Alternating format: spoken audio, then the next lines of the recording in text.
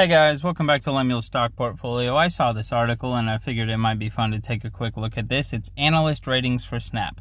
Now, I have never purchased Snap and uh, I'm not sure that I ever will, but hey, let's go ahead and look at the analyst ratings since Robinhood had the article up here. So we got uh, last 30 days, what's the three months ago, zero, okay.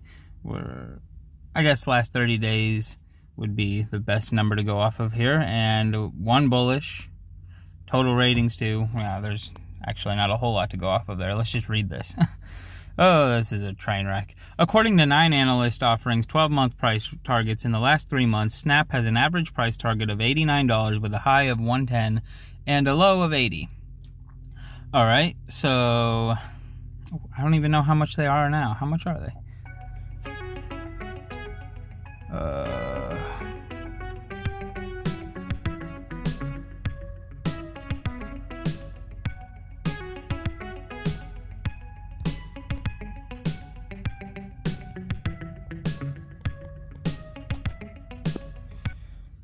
71. All right. So apparently I we, we I guess we should take it as a good sign that none of them say it's going to go down. Um so yeah, uh, have at it. I might buy some, probably not.